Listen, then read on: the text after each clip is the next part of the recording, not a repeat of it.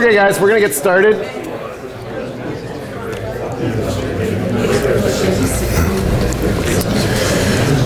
Okay, so I want everyone to stand up really quick. And now I know you can take directions, so sit down. For those of you who don't know me, um, my name's Greg Young. Um, my day job is I design a database, um, as in building the actual database engine. I normally do not wear shorts and t-shirts around, but we are on the beach, so that's okay. What we're going to talk about today is CQRS and event sourcing. And this is actually a big problem just on the slide. Everyone always talks about CQRS and event sourcing, when really it's event sourcing and CQRS. When I first started teaching people about CQRS and event sourcing, it was advantageous to teach them CQRS first and then teach them event sourcing. You can use CQRS without event sourcing, but with event sourcing, you must use CQRS. And we're going to talk about what both of those concepts are. I've been talking about this subject for a very, very long time. In fact, the first time I ever did talk about this was in 2006 at QCon San Francisco. And actually, some of the slides are still the same from all the way back then. I have probably done this or a similar talk 50 times over the last couple years. When I did the first talk, it was actually it was awful. So I come in and I've never really talked at conferences or anything like that before. And I'm talking about domain-driven design and messaging systems and these new patterns. And I come in and my front row is Martin Fowler, Eric Evans, and Gregor Hohpe. I'd never met any of them before. I think I went through my entire 60-minute talk in something like 17 seconds. we will not do that today. Now, when we first started looking at things like event sourcing and where, where the ideas came from, and they're not new ideas. In looking for the book and trying to do history about event sourcing, I have managed to bring it all the way back to Mesopotamia and Sumeria. So if you come to me afterwards and say, how do I convince my company to use these new technologies? They're not new. People have been doing this for decades. In fact, when I used to work with mainframes, before SQL databases got popular, this is actually how we tended to build systems. Your database actually works with event sourcing internally. But at the time, I was working with algorithmic trading. And when you're working with algorithmic trading, you really, really need a safety net. You need everything in your system to be deterministic so you can go back to any point in time and figure out exactly what was going on. Why? Because what happens when you're doing 500 trades per second and your algorithm decides it wants to find places it can lose one penny at a time? You can find a whole lot of places to lose money in the stock market. The other thing that we need is we need to be able to look and do scientific measurements over time. And we need to be able to compare time periods to time periods. We need to do this in a deterministic way. But the biggest thing that we needed was an audit log. How many of you have an audit log today for your system? Raise your hand. Okay, now keep your hand up if you can prove that your audit log is correct. What's the point of your audit log if you can't prove that it's correct? I know some characters that had this problem. Hansel and Gretel were walking through the forest and they got lost. So they started leaving an audit log, correct? They started leaving little pieces of bread. So they would know where they were and they'd be able to get back. Unfortunately, the little woodland critters were coming behind them and eating the bread. They couldn't prove their audit log was correct. I would argue they would have been better off in the story if they had not had an audit log at all because, well, they would have had the piece of bread when they got to the house, they wouldn't have been hungry, they never would have gone in, they wouldn't have ended up in the oven. Which is the real ending of the story if you read the real story. But this is a big problem. We have audit logs that we can't prove are correct. And this is one of the main things we were trying to solve is we need an audit log that we could prove was actually correct. And there's a lot of industries who need to do this. Anything regulated. You need to be able to prove that your audit log is actually what happened. We're going to go through some cases, real cases, um, where people failed on this and how you can actually solve them. And what we came up with was that every state transition inside of your domain, how many have heard of domain-driven design? So when I say domain, I'm referring to a domain model, similar to what's in domain-driven design. an object model we can imagine, but it may be functional as well. When we talk about a state transition that occurs inside of that model, that should be a first class concept inside of your system. It's not that update table set some column equals value. It's a fact. And a fact is what should come out of your domain model. Customer status level promoted. That's very different than update table set column equal. And if you start modeling like this, a lot of your problems will actually go away. What's most interesting for me about event sourcing is that not a single mature industry uses the concept of current state. None. And when I say mature, I do not mean Groupon. I'm thinking finance, banking, insurance, things that have been around for hundreds of years. Not a single one of them has the concept of current state inside of it. How many of you have a bank account? Do you think your balance is a column in a table? Or is your balance an equation? Your balance is a summation of all the previous transactions' value upon your account. What would happen if it were just a column in a table? So you have a disagreement with your bank about what your balance is. You call them up on the phone and say, yes, it says I've got $103, but I think I should have 207. And they go, all hail the mighty column. The column says 103, that's what you have. But today, you can call up and they can say, well, I can add up all the things on your account and we can check whether or not it's actually correct. Your balance is a first level derivative off of the facts on your account.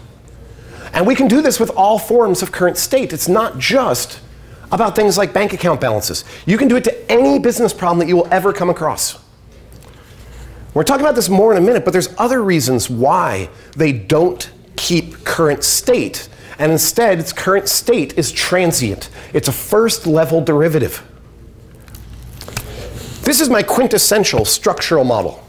How many of you have a structural model today? It could be in SQL, it could be in a document database, it could be in an XML file. What it describes is the structure of a piece of data. And this is what we were told to find when we were in university, right? You just got to find the structure of the data. Structure of data isn't that important. Now let's take this. This is not the only way that I could represent this particular piece of information. I could also represent the same information as a series of events, facts. So now we have cart created, three items added, and shipping information added, which doesn't fit quite right at this resolution. This is actually five events. When I tried to put the three item addeds um, the boxes got really little and you couldn't read them anymore. But I could at any point in time take these five events, I could run them through a piece of code, a function, and I could pass you back that, correct? I could take my five events that are saved and transform them to give you back a structural model. And this is what people are doing when they're doing event sourcing. Event sourcing is all about the storing of facts. And any time that you have state structural models, they are first level derivative off of your facts. And they are transient. When I say transient, it does not mean in memory. Transient means I am willing to delete them. I may make them persistent, but I could at any point in time delete them and rebuild it. Could I delete this and then replay those again? Imagine that. Anything in your system, you can just delete and replay and get back. Well, there's a lot of differences between these two. How many of you have refactored a domain object before? Renamed something on it? And then you have to go make your SQL migration scripts, correct? What happens when I rename something here? And I'm storing this. When I restart my server, do I need to run a SQL migration script? No. More importantly, what happens when I have two servers that are running side by side? One's running version 1, the other one is running version 2. Could each server have its own view of what these facts are? So one of them has this model, another one has a slightly different model. Sure, there's no problem at all with this. When we start looking at this, our facts come back down to our use cases. And one thing you will learn over time is that structure changes more often than behavior. Your use cases of a system tend to be reasonably stable over long periods of time. How you interpret your internal data, the structure that you use, has a tendency of changing a lot. But we haven't gotten to the reason why most businesses that are mature are using this. And this slide I, have been using literally since 2006. This slide took me forever to find. And the reason why is you have an accountant erasing something in the middle of their journal. Accountants do not do this unless they work for Enron. you do not erase something in the middle of your ledger. This is highly illegal. If you took in a class in accounting, you were probably told that accountants don't use pencils, they use pens. And it's the same thing we talk about event sourcing. When we talk about event sourcing, you can never, ever update an event. And you can never delete an event. To be fair, there are some circumstances where you want to delete events over long periods of time. And for instance, in our database, we support doing that. Conceptually, you never do it. And I know some people in the room are probably going, but that data must get very big over time. How many of you are doing more than 1 million transactions per day? 5 million? 10 million? So I, will give you guys a hint. If I can take all of your data and I can put it on a micro SD, you don't have big data. If I can put all of your data on a micro SD, you do not need to worry about ever deleting any data, providing your system has been running for more than like a year. What you need to consider is where you sit relative to Moore's law. Are you gaining data faster or slower than that exponential curve? And to be fair, I forget the name of the guy. It's another law associated to Moore's law that actually claims data growth is actually faster than Moore's law by a little bit. If you are not going faster than Moore's law, then you don't have to worry about the amount of data that you have. Your data will just continually get cheaper and cheaper and cheaper for you to store. If I were to look three years ago, how much would it cost me to get a one terabyte SSD? Or one terabyte of SSD? Today, for what, about $500, I can go get a Samsung 840 MSATA 1 terabyte SD, uh, SSD drive. Thing will do over 100,000 IOPS. Where do you think we'll be in three years? Where do you think we'll be in five years? So for most of you, do not worry about deleting events. You probably don't need to, and we're going to talk more about this. But accountants don't do this. What do accountants do? Accountants, if they transfer 10,000 to your account by accident and they meant to transfer 1,000, will do one of two things. They will either take 9,000 back. This is known as a partial reversal. And accountants don't like doing this.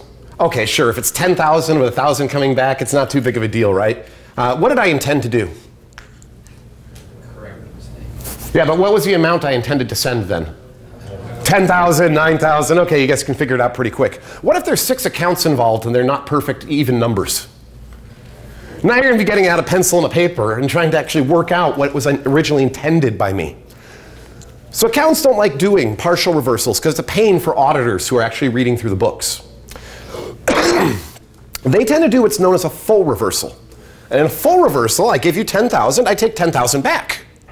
And then I say, here's the 1,000 that I originally intended to do. So now the auditor going through goes, oh, that's a cancellation. And here's what I intended to do. All of these same things apply in event source systems. Just like in a ledger, you are not allowed to ever go back and update something. You can only add new things. You can do corrections. Let's take an example. So I got a cart created, three items added, one item removed, which is also screwed up because of the resolution, and then shipping information added, which is screwed up because of the resolution. Or maybe it's shipping informati on added. now my question for you guys, is this the same as cart created, two items added, shipping informati on added? I see some people going yes and some people going no. It depends on my perception. If I were to go and look at it with this perception, would those two be the same? Yes. Yes. But what if I looked at it from a perception of I want to count how many items were removed? So I have product code, number of times removed. Would those come out the same? No. And this is one of the things that really leads to people using event sourcing. And in most places I find, it's the business that drives the use of event sourcing, not the technology reasons. And the reason why people are using it is it's the only model that does not lose information. No matter what other model you choose, any structural model, I don't care what it looks like, unless your structural model is actually an, an implementation of event sourcing, like many accounting systems do, where they have a transaction table with a transaction type, which they then join out to another table that holds the fact. Any structural model like this will lose information. How many of you have an update or a delete statement in your system? Okay, keep your hands up. How many of you sat and talked with the CEO and board of directors of your company about how that data had no value? How many of you can predict where your company will be a year from now and what they may ask you about today? Do you have a magic eight ball? What will a company ask me? Will they ask me about this? I think not. So, how did you make this decision to destroy data? You personally didn't feel it was valuable? Or maybe you didn't think about it. Data is massively, massively valuable. And anytime you choose one of these, you are losing data. The fun part is figuring out what data you're losing. How many of you have had a business person come to you and ask you for a feature on things that you should have had because you've been doing this behavior for a long time, but you lost the information? You were updating a table and then they asked you about the history of that particular value as an example. We're losing information here. Let's go through and look at this with a real business use case and show how we're losing information here. So our business user comes in and says, you know what? I want a new report. And this report, what I want it to say, I want to look at how many people are removing items within five minutes before they check out in our system. Because I think they're more likely to buy those items in the future than they are the other things that we show them. Why? When do you remove an item from your cart five minutes before you check out? I can tell you when I do it. So I go to my cart and I'm looking and it's like $350. And I'm like, so I've got a choice here. I can either remove two or three of these items from my cart and get the rest shipped to me, or I can get them all shipped to me and my wife will have my head. So the choice is everything, no head, or some things with head. And normally I choose to some things with head. And it doesn't mean I don't want those things anymore. It means that I don't want them right now. I prefer to have my head. I am prioritizing them lower than my head. So in this system, how would we do this report? Maybe we'll add a new thing off the top called removed line items. And then we're going to write a report which will go to my removed line items, and then it will do a subquery to see if I've actually bought that item in the future. Okay, we released a production. Business guy goes and runs the report. What does he see? Nothing. Nothing. That report applies to right now, forward in time. Okay, maybe he gets one thing because there was a guy that was really fast and he, he ordered a bunch of stuff and then he immediately put the stuff in his cart again and ordered again. So he gets one thing. Let's try the same report. But let's do it in an event sourced model. Now, we haven't talked about the name for this thing yet, but it's called a projection.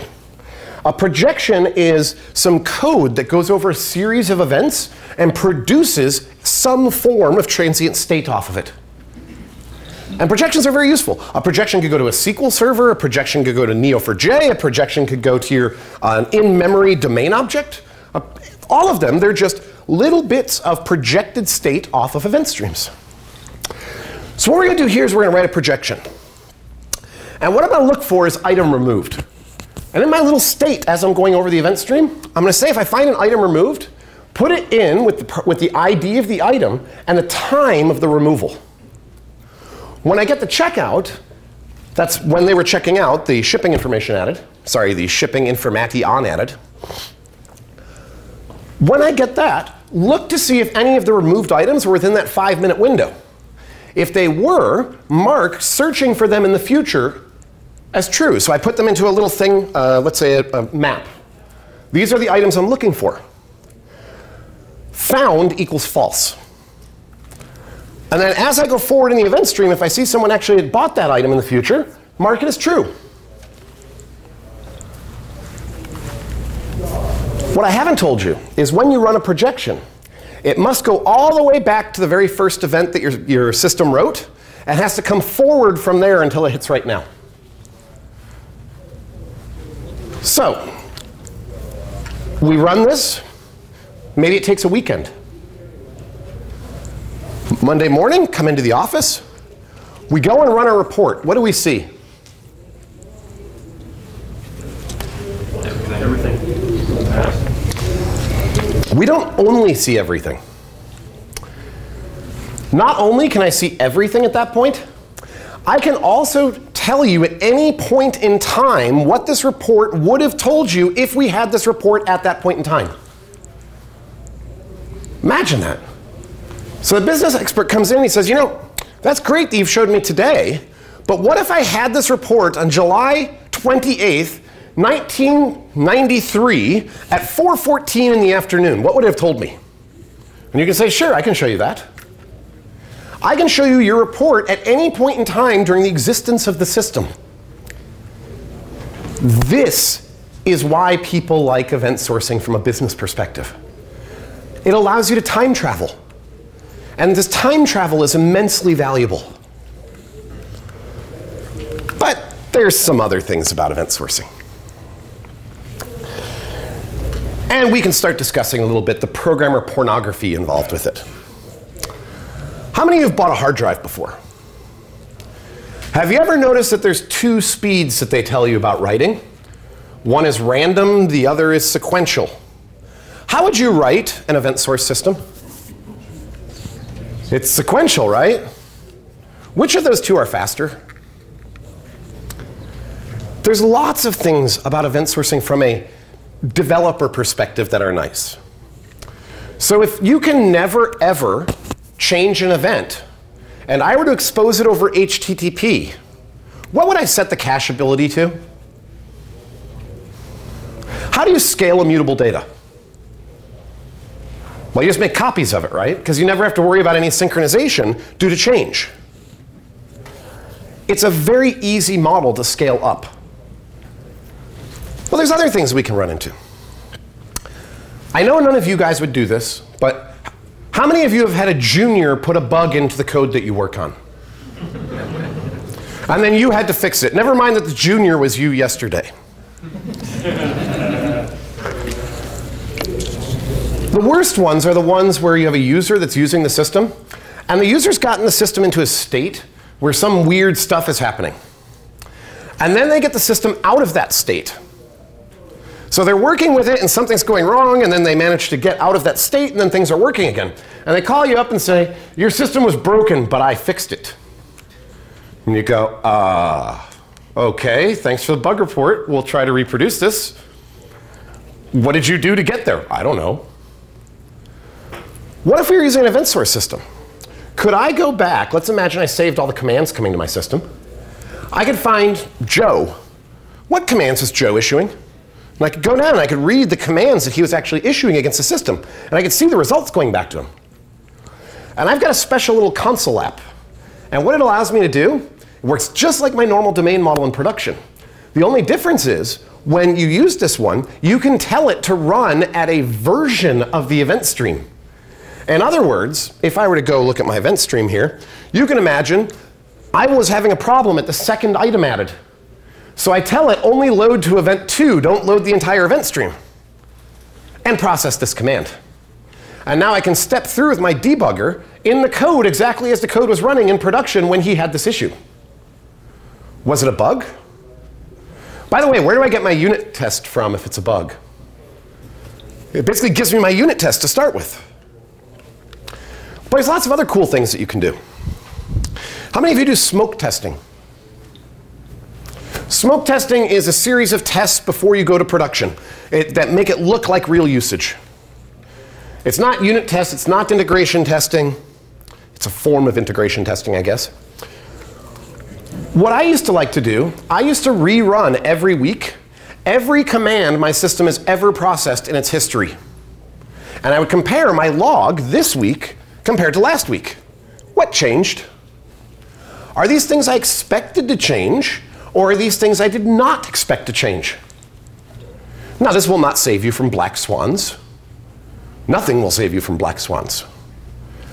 But you should feel reasonably comfortable if you've rerun every command your system has ever processed through the new software with no unexpected results. You can't ask for much more than that. But there's some other interesting aspects that we can get into. How many of you have heard of something called a super user attack before? A super user attack is defined as a rogue developer or system administrator with root access who decides to attack. How do you stop a super user attack? Sounds like it might be a small issue. The guy's got root. He could delete stuff, right? I actually ran into a super user attack working here in America.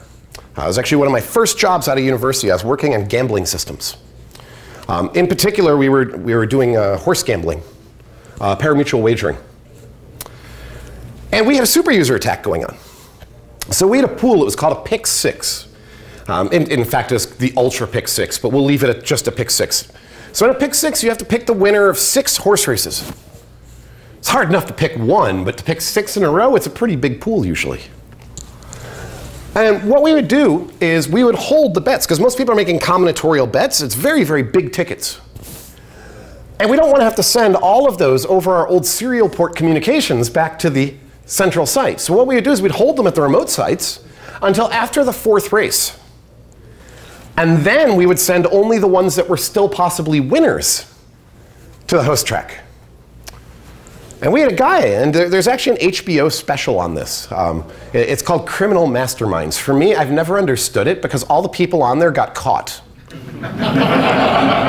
so they're obviously not the masterminds. And the guy I was working with, uh, his name's Chris Harn, by the way. And there, there is a television show about this. There's Wikipedia pages. It, it was the largest gambling scandal in America in the last hundred years. So what they were doing was they would go through and they would put in a bet. Let's say at Catskills or, or at Yonkers, one of these smaller OTBs. And they put in a bet, one, two, three, four, all, all. So in the first, I want the one. In the second, I want the two. In the third, I want the three. In the fourth, I want the four. And then I want all in the fifth and all in the sixth. And then they would watch the races on television. And he would get on the maintenance line, eject the tape, go edit the bet manually on disk, and then our scan would hit. And our scan would come through, and no, it was no longer one, two, three, four, all, all. It was the first four winners, all, all. So it'd come through, and it'd be like, wow, that's interesting. Look, this is a possible winner. Oh, wait, it's a guaranteed winner. It has all all at the end. And he got caught. But like most super user attacks, he did not get caught because he was stupid. He got caught because he was unlucky. In the fifth and sixth legs, it was like a 43 to 1 horse and a 56 to 1 horse won. And they were essentially like the only winning tickets in the world. And this is on Breeders' Cup Day. It was like a two or three million dollar winning ticket. Now you can be damn sure when you've got 150 winners who are each getting paid out $200,000, no one's going to really look at that. What happens when there's basically one ticket in the world with these long shots, and then you look at the bet and it's like one, two, three, four, all, all? No punter would ever bet that ticket because it's a combinatorial bet. If any of those first four horses lose, your entire bet is gone. So they started looking at it. They're like, well, this is a bit fishy. what's going on over there at Catskills? Let's get them on the phone. Oh, there's a developer on the maintenance line. This is interesting. Um, apparently, the FBI picked him up the next day, and he went to federal prison for a while after having talked with, uh, given up other people that he was dealing with. And if I remember correctly from talking with people I worked with, uh, just maybe a year ago, I believe he's now living in Peru. But this could have been prevented on an event source system.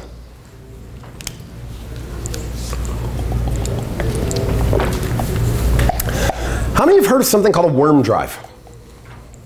Write once, read many. You physically cannot overwrite data on it. In other words, it guarantees the immutability of my events. And then what I'm going to do is I'm going to take away your physical access to the machine, which I don't even need to do that. I can still give you physical access, and we'll talk about how. But I'm going, and we're good at that. Security is good at physical access, keeping people away. Now, my current state is derived from my audit log. Anytime you ask me about current state, I get it off of my audit log. Anytime you want to make a change, I write it to my audit log, and writing it to my audit log is what makes it become part of my current state. My audit log is on a worm drive. How do you attack me? Bad data. Hmm? Add bad data. Ah, you can add bad data, but I still got a log of your bad data. And there is a thing that you can do here. If I'm not very careful, what you could do if I'm a slow moving system, you could make an entire copy of my worm drive with everything except for the changes that you wanted and then switch the worm drives. Right? But I can avoid this. I can do a write to my worm drive, just basically a little heartbeat write. I can do one every 250 milliseconds. So now all you have to do is keep up to date and move them fast enough and what I'm going to do in my heartbeat is I'm basically going to have a sequence that's coming off of some uh, crypto cryptographic algorithm that uses the last value plus something in order to get the next value based on the time. Something that you won't be able to reproduce during that 250 milliseconds while you're switching the cables. At this point, I'm going to know that you switched the drive. And I can actually detect that and show you switched the drive on me. Now, I'm not saying that this is the reason that you should use event sourcing, by the way. If you happen to be in a heavily regulated environment, keep this in mind. Your regulators will love you if you have that kind of strategy. Now, I always get the question, what happens when we have lots of events? Now, normally we do not event source a system. It's not one stream of events for the entire system that we replay. Instead, what we do, if people know domain-driven design, we have an event stream per aggregate. So that way I only need to replay, let's say, 20 events worth. But some aggregates, they can get big. Conceptually, we start from the beginning and we go to the end. And by the way, for those who do not know a domain-driven design aggregate, document is another good way of thinking about it. If you've used a document database, every document represents a stream of events. And there's basically a partition point in the system. Now, conceptually, we always go from the beginning to the end. But what if I had uh, one of my aggregates or documents as Google's order book for the stock market? How many events do you think happen in Google's order book in the stock market throughout a day of trading? So we're at 3.30 in the afternoon, something goes down, I need to replay it. Do you think that's like five events in there, or do you think it's like five million?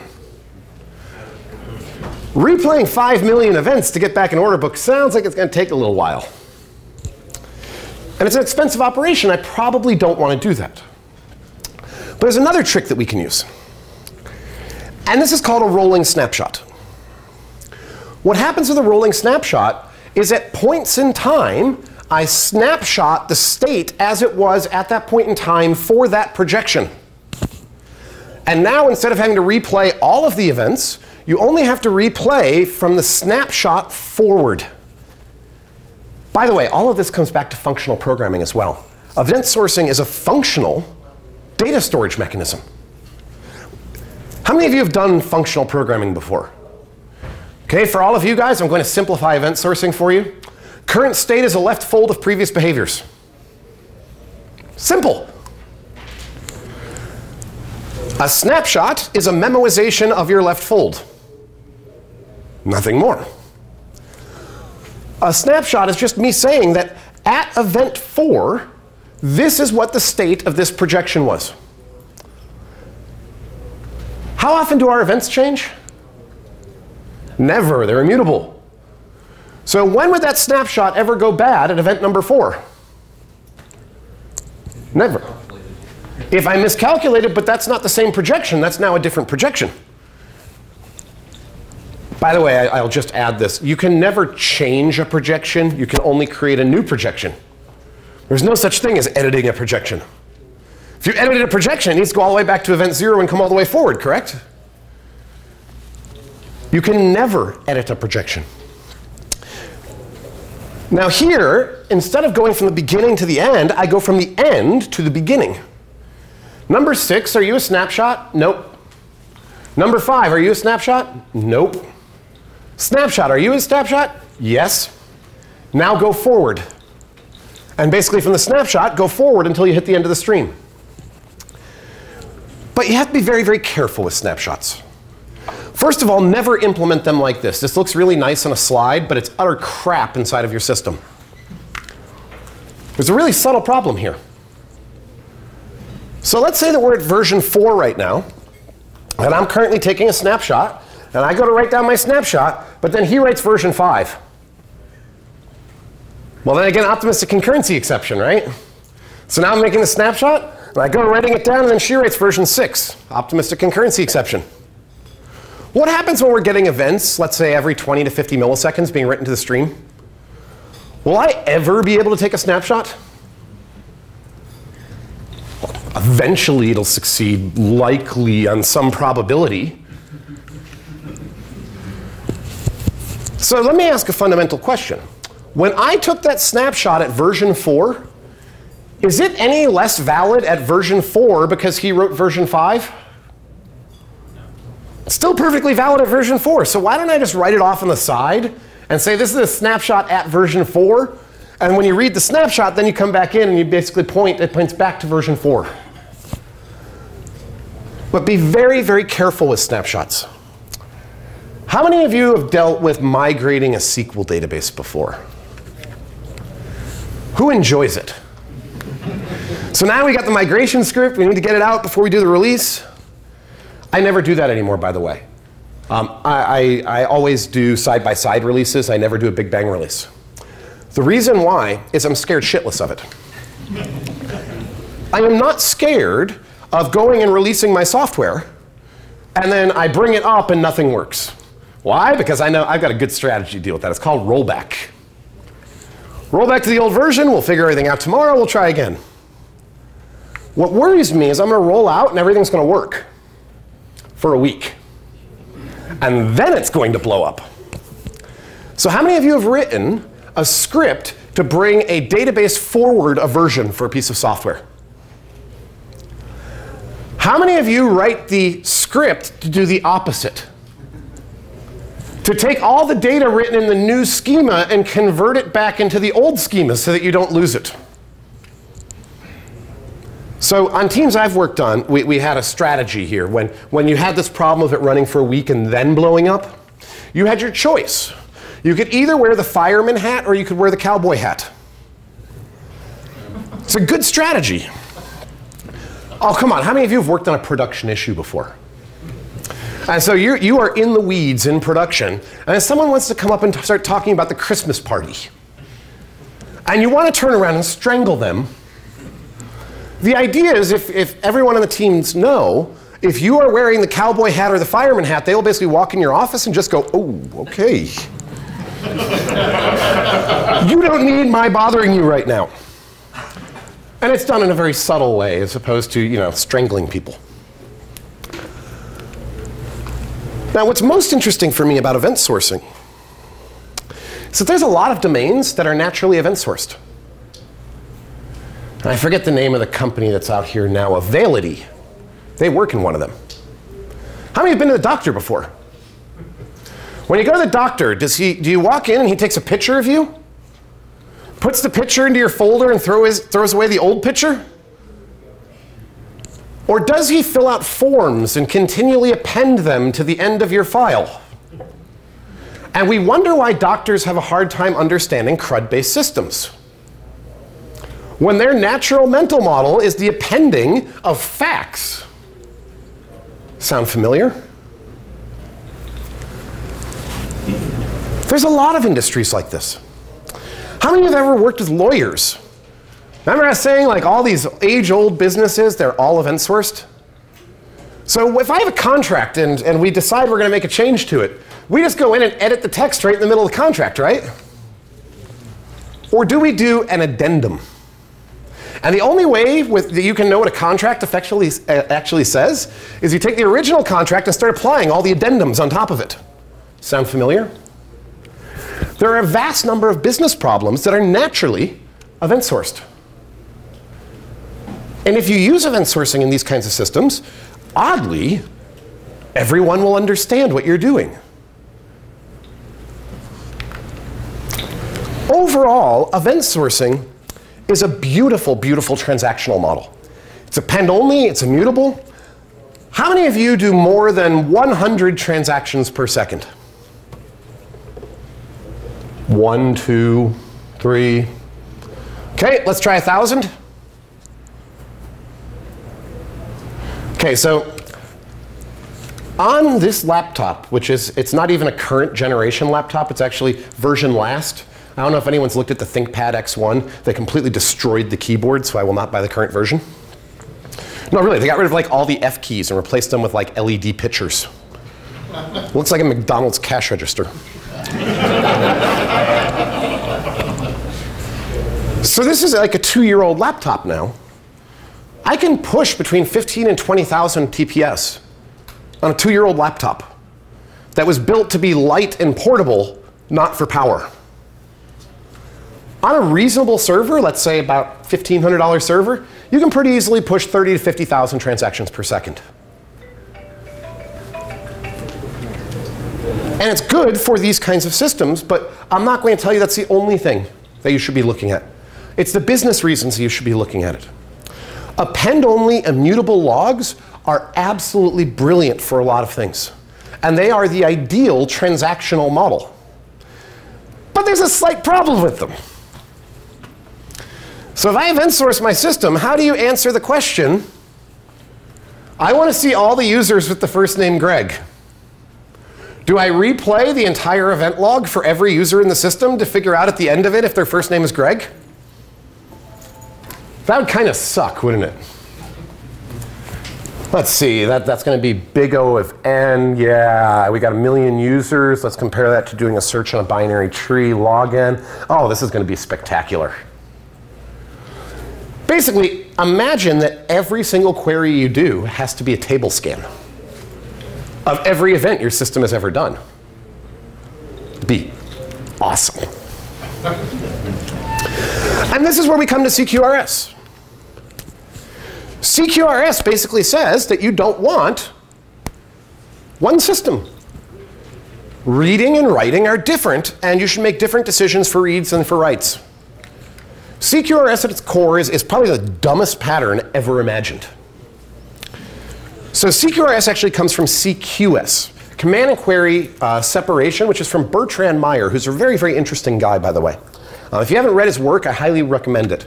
Um, Object-oriented software construction, um, I would recommend getting probably version 2 of, of the, the second edition. Um, I will warn you, his book seems to be event-sourced. Um, it looks like it's append only, and he just keeps adding to it on every edition. If you get the third edition, I believe it's 1,300 pages, but on the bright side, you will save money because you don't have to go to the gym. And what CQS states is very simple. There are two types of methods. The first type of method that we have has a void return type. It's called a command. Um, if you're in functional code, we could call it a unit return type. It is allowed to mutate state. It is not a pure function. The second type of method that we have has a non-void return type. It is not allowed to mutate state. It is called a query. You'd be amazed if you just follow that in your code, how many bugs you'll save yourself from. How many of you run into a problem where you did something like there was something hitting at the top of a loop inside the loop, calling a getter on an object? You said, I know, I'm going to hoist that out of the loop, and in that way the code will be faster. And then the code stopped working, and you're like, what the hell? I hoisted a getter out of the loop. And then you go look, and the getter was actually mutating state. And you found a bug it makes it much, much easier to reason about your code. And the reason that they, it was so important to do this inside of Eiffel, which is the language that he writes, is because they have something called contracts. And contracts are normally written on top of pure functions. And what happens if I call your contract twice? Should that somehow alter your behavior? That'd be weird. What if I realize I don't need to call your contract? And now you, you work differently because I didn't call your contract? That's weird. Now, Martin Fowler wrote that CQS is not a principle. It is instead a rather reasonable suggestion. If you know Martin, you can imagine him saying that in his British voice. And he gives a counterexample to CQS. Stack.pop. Does stack.pop return something? Does stack.pop mutate state? Whoops. Now, if I wanted to, I could, I could continue with this, and I could do stack.pop and then stack.value. But that would seem awkward. Have any of you ever looked at how IEnumerable works in .NET? Move next and .value? Why not have move next return something? It's following CQS. And CQS becomes much more important when we start talking about things in a distributed system. And the reason it becomes so much more important is because we start talking about things like idempotency. Where queries are going to be naturally idempotent, commands are not going to be naturally idempotent. CQRS goes one step further than this. And by the way, how many of you have seen something on CQRS that said underneath it, did you mean cars? And this is because back in 2007 or so, if you type CQRS in Google, it would say, Did you mean cars? But now, after years and I guess enough hits throughout the web, it now actually gives you CQRS links. CQRS just goes one step further than this, and it basically says, we're going to have two objects now. We're going to take one object, which was filled with commands and queries, and we're going to make two objects out of it. One with all the commands, one with all the queries. And actually, they call this a pattern. How weird is that? It's such a simple concept. But it's an enabling pattern. So let's talk about queries a little bit. When we talk about queries, queries tend to have a different perception of your data, correct? Almost always, a query is focused on a screen and what a screen looks like. Does a screen have anything at all to do with managing your transactional invariants? Probably not. If they do have similarities, it's accidental. There's no causative relationship between this. Screens, or sorry, queries are screen related because you want to do one call across the wire to come back because you'll be perceived as being faster then.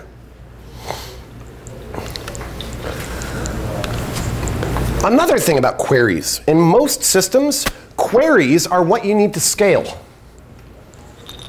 Most systems I look at do on the order of one to two orders of magnitude more queries than they do processing of commands.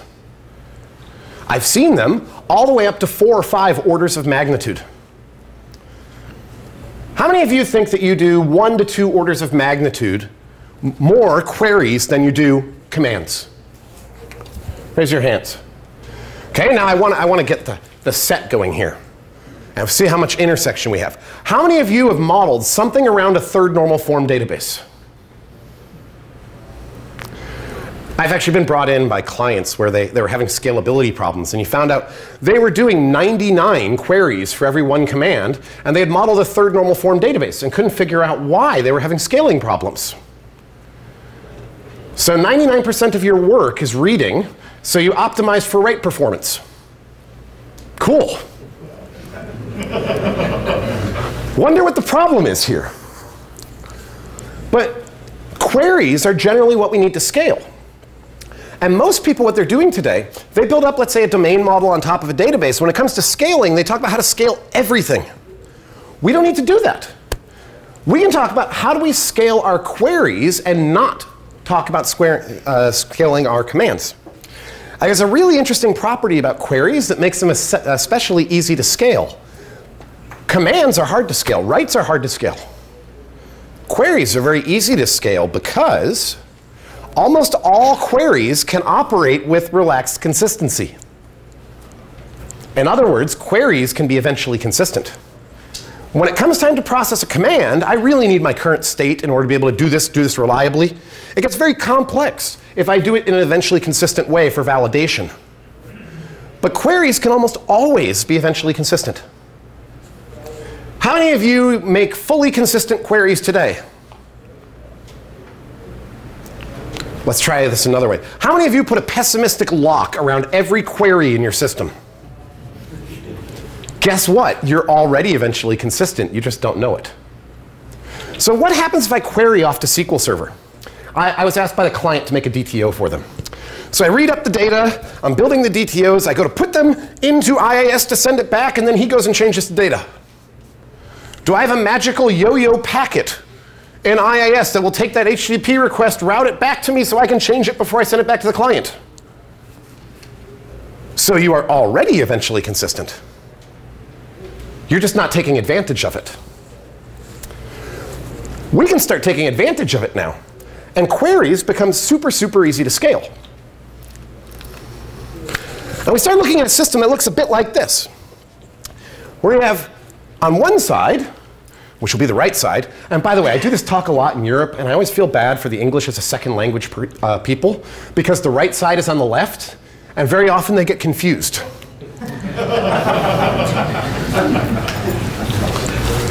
so on one side, we've got our domain objects with application services, normal DDD style stuff.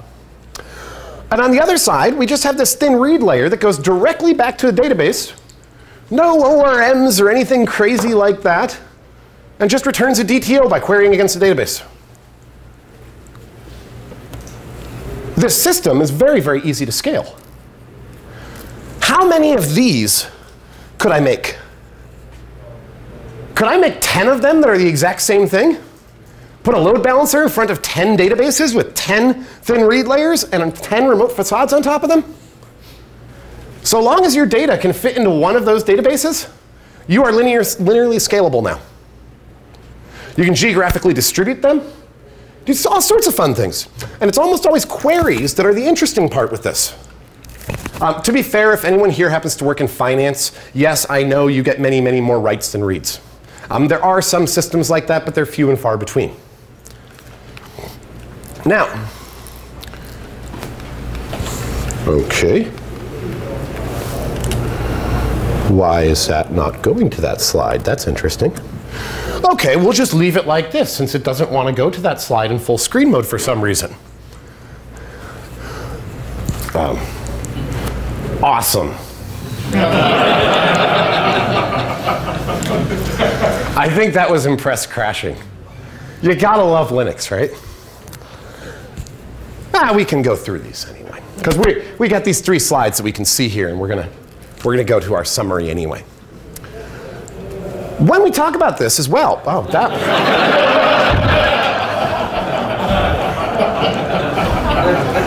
Okay, let's try bringing that one back up.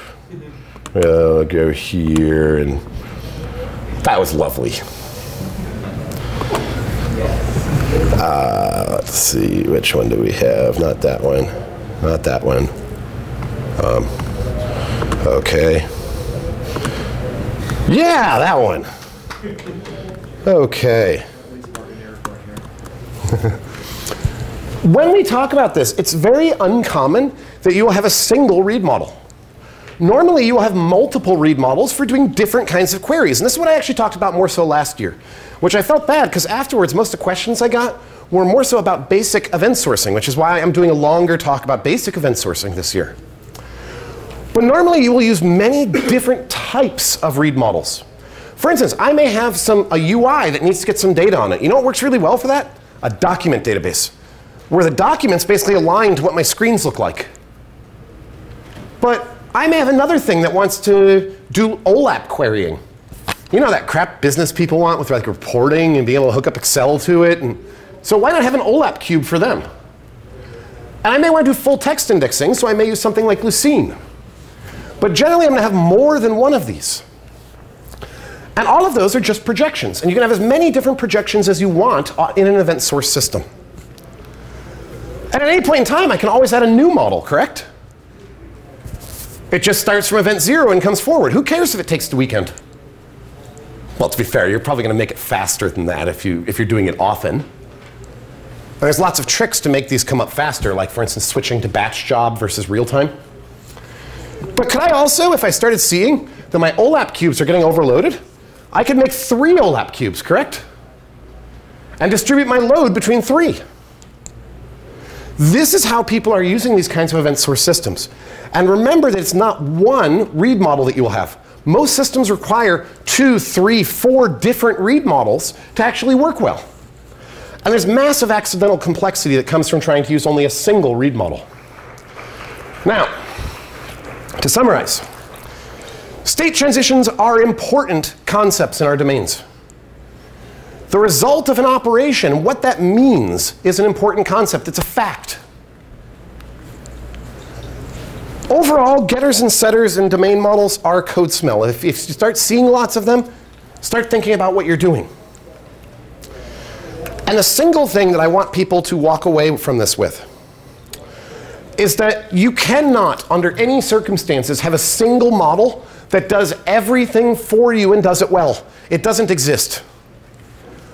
There are different types of models, and different models do good at different things. And I talked about this last year a lot in polyglot data. But I mean, how many of you have tried using SQL Server full text indexing and compared that to something like Lucene?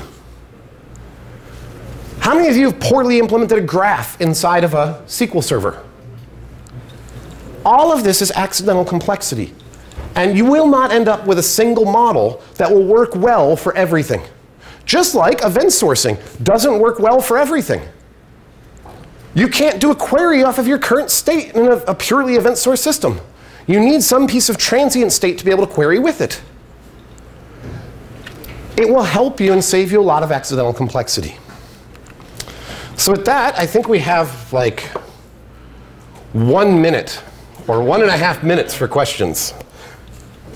So if you're persisting your state transitions with your events in your event store, is there value in saving your commands to kind of correspond with those um, state, state transitions? So I tend to save my commands, if only so I can see what my external stimuli was. And I use it a lot for looking at how people are using my system. And I use it a lot for things like debugging um, or, or smoke testing. But it, it's not like they're a core part of my system. Um, I do save them, but not everyone does save them. In the source problem, how would you handle something like a, like a, over, an inventory problem where you would want to avoid overselling? Um, when I load up my aggregate, my aggregate is fully consistent. Um, I, I, can tell you the exact number, and it's, it's fully 100% consistent, so I can't avoid that. Um, to be fair, in a warehouse, you're never going to avoid that problem, however, and I'd, I'd go back and talk with the business people about this. Um, They want to have a fully consistent warehouse. So how do you stop the people that are stealing and make them check out the inventory appropriately? At the end of the day, the warehouse is the book of record, not the computer system. And that kind of stuff does happen. So you will oversell things no matter what. And I would have that conversation with them. But in general, let's imagine that it was something where I really am the book of record. Then when I load up my aggregate for a given inventory item, it is 100% consistent. And I can say that we will never oversell a product. We don't have to have eventual consistency. Um, In the event that in the future your your event your event uh, uh, model actually changes where you add more you know another piece of information to your event.